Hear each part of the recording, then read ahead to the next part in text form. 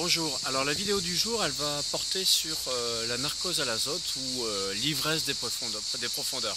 Ça c'est une question qui me vient d'un commentaire YouTube, hein. je fais euh, bientôt mon niveau 2, j'angoisse un peu par rapport à l'ivresse des profondeurs, comment ça se passe, qu'est-ce que c'est? Alors ça c'est un des aspects les plus mythiques de la plongée, hein. c'est vrai que quand on descend, on est atteint à plus ou moins grande échelle, et cela dépend de la profondeur et des individus, par ce qu'on appelle la narcose à l'azote. Alors qu'est-ce que c'est? Je crois que la meilleure façon de décrire l'ivresse des profondeurs, c'est une sorte de euh, viscosité mentale. Hein. C'est-à-dire le système nerveux est un peu ralenti, les informations passent moins bien, et ça peut passer par euh, deux états, soit un état euh, plutôt de bien-être, soit un état au contraire plutôt d'angoisse. Euh, avec euh, chacun leur, euh, leur danger respectif. Hein. Si je me sens excessivement bien, je risque de faire des bêtises, et si je me sens angoissé, je risque de, paniquer. Alors à quelle profondeur ça arrive? Ben, Ça dépend des individus. Hein. Généralement, c'est à partir de 35 mètres, on va dire, ou de 30, mais il y a des individus hypersensibles pour lesquels ça apparaît dès 25 mètres. Et souvent, la plupart du temps, les personnes disent Moi, je ne suis pas sensible à la narcose à l'azote. Et euh, en fait, quand elles disent ça, c'est qu'elles ne s'en aperçoivent pas, puisque à 40, on est tous narcosés à plus ou moins grande échelle. Hein, alors, comment ça se passe la, narcose? Comment ça s'explique? Ben, Tout n'est pas expliqué exactement.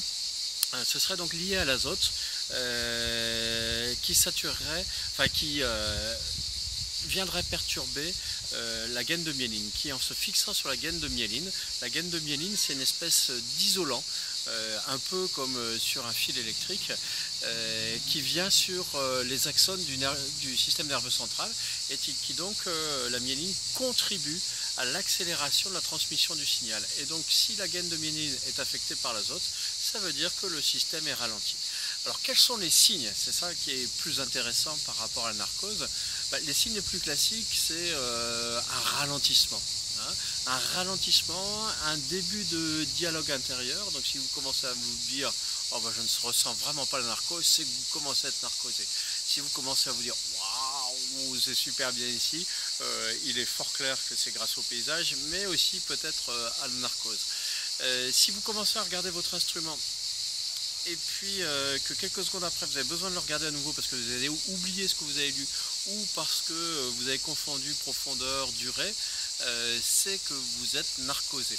Hein, alors les cas euh, les plus euh, fantastiques de narcose que, j'ai pu voir,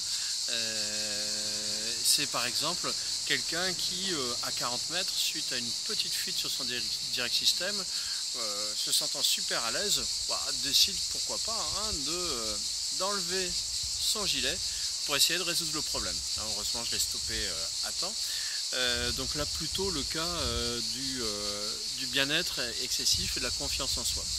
À l'opposé, hein, quelqu'un qui arrivait à 38 mètres, je me retourne, était posé genou à terre et l'air complètement hagard, incapable de répondre. Donc il a fallu remonter pour que la conscience, la vigilance revienne à nouveau. Hein, par rapport à la narcose, qu'est-ce qu'il faut faire? Ben, C'est exactement ce que je viens de dire. Il faut remonter généralement de quelques mètres, ça suffit. Hein, j'ai eu aussi un cas sur euh, le donator d'un plongeur qui vient me voir paniquer en me faisant le signe je suis sur réserve alors qu'il était à, 150 bars. Alors pour euh, éviter la narcose, ben, c'est euh, assez simple, c'est la progressivité.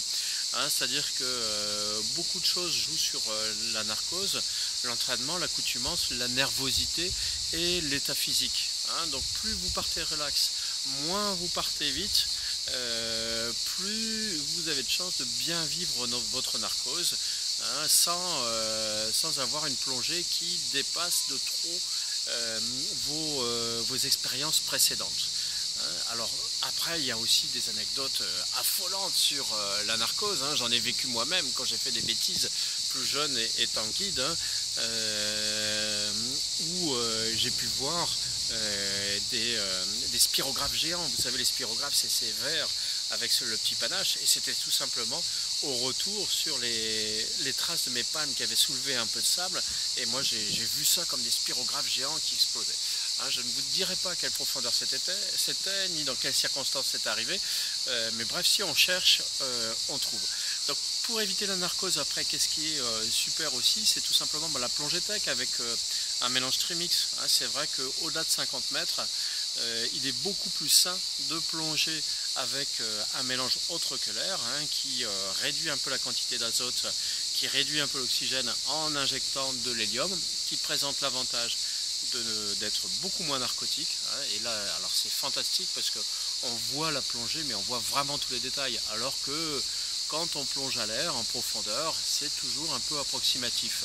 Et euh, ensuite, deuxième avantage, l'hélium étant beaucoup plus léger, on respire un mélange qui est beaucoup plus léger et donc on risque moins l'essoufflement. Hein. Je rappelle qu'en plongée profonde, l'air est beaucoup plus dense, lié forcément à la pression et respirer devient de plus en plus difficile, bien que, comme j'ai déjà dit, on a tous des respirations d'asthmatiques. Donc voilà, donc le meilleur conseil pour bien vivre euh, la narcose, bah, y aller progressivement, euh, se, bien se préparer en amont, parce que tout ce qui est euh, stress à la surface bah, se décuple au fond. Et puis un petit rappel aussi, je vous conseille toujours, quand vous commencez votre plongée, de tous vous arrêter dans la zone des 5-6 mètres pour bien vérifier que tout va bien avant d'enchaîner la plongée. Il y a bien des plongées qui deviennent un cauchemar tout simplement parce que les gens descendent directement. Voilà, alors euh, si vous avez aimé cette vidéo, cliquez sur j'aime. Si vous n'avez pas aimé, cliquez sur j'aime pas. Vous voulez en voir d'autres, abonnez-vous bien sûr à la chaîne euh, YouTube Aquadomia One. Et puis euh, si vous-même vous voulez aborder une question, n'hésitez pas. Hein. Faites-moi un petit commentaire sur cette vidéo, un petit post sur Facebook, un petit mail ou un petit coup de fil. A très bientôt